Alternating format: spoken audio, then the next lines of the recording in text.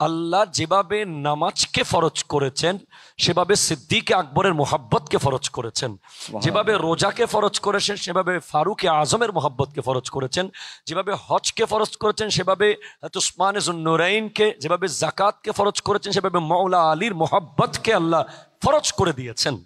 তো যারা ইনাদের ফজিলতকে ইনকার করবে তাদের নফল তাদের ফরজ কিছুই আল্লাহর দরবারে কবুল হবে না। আপনার জন্য প্রশ্ন হচ্ছে নবীজি সাল্লাহ আলী ওসাল্লামের ওফাতের পরে নবীজি কত বছর খেলাফত টিকে থাকবে বলেছেন? তিরিশ বছর। নবীজি সাল্লাহ আলাইসলামের ওফাতের পরে তিরিশ বছর খেলাফত টিকে থাকবে। আপনার এই জবাবটি সঠিক হয়েছে? আলহামদুলিল্লাহ। আমি এই বিষয়ে আজকের এই পর্বের সময় তো বিচারক হজরত মাওলানা শেখ জাইনাল আবেদিন কাজী সাহেবের কাছে জানতে চাই। নবীজি সাল্লাহ আলাইসলাম সাদ করেছেন যে খেলাফত তিরিশ বছর পর্যন্ত টিকে থাকবে এবং আমরা জানি খোলাফায় রাশেদা নবীজি সাল্লাহ আলাইসলামের শ্রেষ্ঠ সাহাবিদের অন্তর্ভুক্ত ওনারা।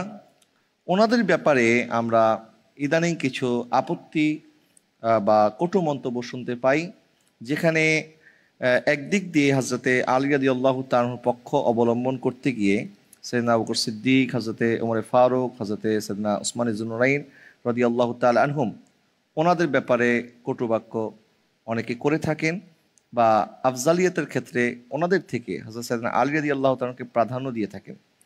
আবার অপর দিক দিয়ে একটি পক্ষ যারা আহলে বাইতকে বিভিন্নভাবে কষ্ট দেওয়ার ব্যাপারে তাদের নানাবিধ প্রত্যক্ষ পরোক্ষ ভূমিকা থাকে, তারা আহলে বাইতকে বিভিন্ন সময় কটু মন্তব্য করেন।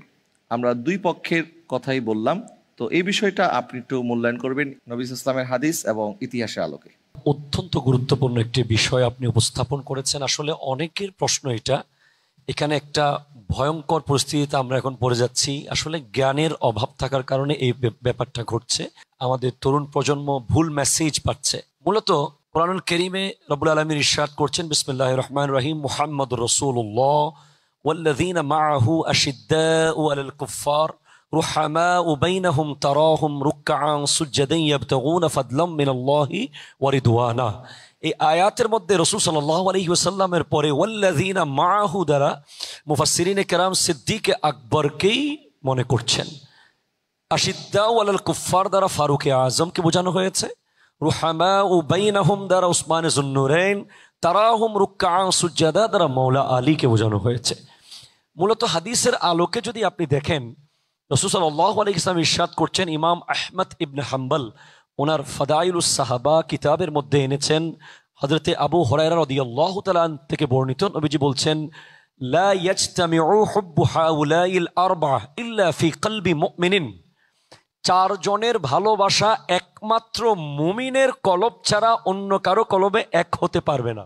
অর্থাৎ মুমিনের কলবেই এই চারজনের ভালোবাসা এক হবে। আপনি আরও একটি হাদিস শুনলে অবাক হবেন। নবীজি বলেছেন ইন্নআল্লাহ ইফতারাদা হুব্ব আবি বেকারিন ওয়া ওমারা ওয়া উসমান ওয়া আলী। كما افترض الصلاة والزكاة والصوم والحج فمن أنكر فضلهم لا يقبل الله صرفا ولا عدلا يعني الفرائض والنوافل অর্থাৎ আল্লাহ যেভাবে নামাজকে ফরজ করেছেন সেভাবে সিদ্দিকে আকবরের মোহাব্বতকে ফরজ করেছেন। যেভাবে রোজাকে ফরজ করেছেন সেভাবে ফারুকে আজমের মোহাব্বতকে ফরজ করেছেন। যেভাবে হজকে ফরজ করেছেন সেভাবে উসমান নুরাইনকে যেভাবে জাকাতকে ফরজ করেছেন সেভাবে মৌলা আলীর মোহাব্বতকে আল্লাহ ফরজ করে দিয়েছেন। তো যারা ইনাদের ফজিলতকে ইনকার করবে তাদের নফল, তাদের ফরজ কিছুই আল্লাহর দরবারে কবুল হবে না। এরপর আরও একটি হাদিস আপনি শুনলে অবাক হবেন।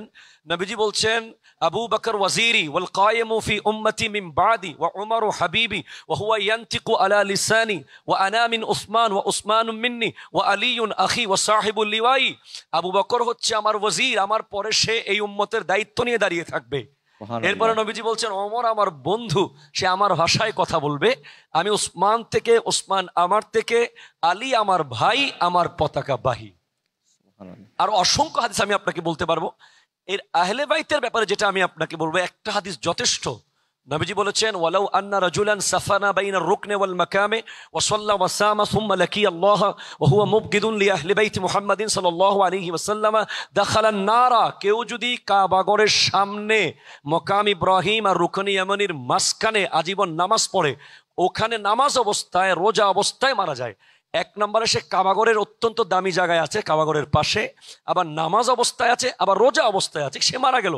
কিন্তু তার ভিতরে যদি আহলে বাইত রসুল সম্পর্কে বিন্দু পরিমাণ বিদ্বেষ থাকে, দাখালান নারা সে জাহান্নামি হয়ে যাবে।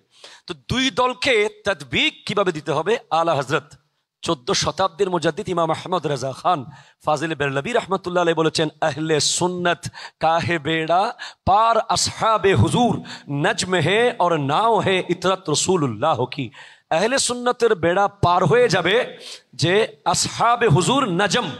নবীর সাহাবারা হলো তারা আর আহলে বাইত রসুল হলো নৌকা। আমরা এই দুইটাকে যদি একসাথে ধরে রাখতে পারি, কোনো সাহাবার ব্যাপারে বিন্দু পরিমাণ বিদ্বেষ আমরা না রেখে চলতে পারি এবং আহলে বায়তকে ইমান মনে করে কলিজার মধ্যে রাখতে পারি, ইনশাআল্লাহ আমাদের ইমানের সাথে খাতেমা হবে বলে আমি আশা করছি।